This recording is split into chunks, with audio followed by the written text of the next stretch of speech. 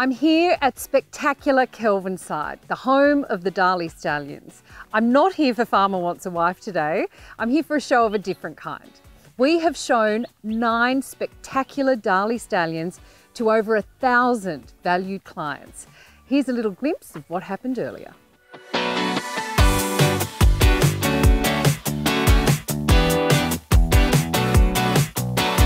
Our first stallion today is world champion sprinter Bivouac. Now, his incredible achievements on the track were recognised internationally as he was crowned world champion sprinter for 2020. Have a look at Victor Ludorum, one of the best sons of Shamardal, very much in the mould of his father. In fact, as close to his sire as it is possible to be.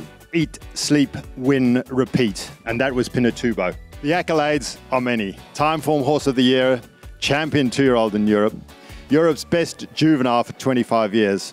Microphone was champion two year old of 2019. Not just champion in any year, he was champion in a really elite year. Clearly, he was the best juvenile colt. Darley's flagship stallion since he first entered stud in 2004 is Exceed and Excel.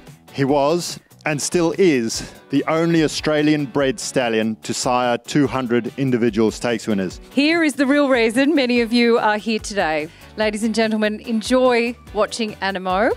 Bill Oppenheim, the great statistician of our industry, gave him 19 out of 19 on his stallion predictor scorecard. He's the only horse that has ever got that score. Ladies, I think he is the Brad Pitt of the stallion world. He is a truly exceptional horse. It's hard to describe in words just how special he is. Thank you so much for your attendance today.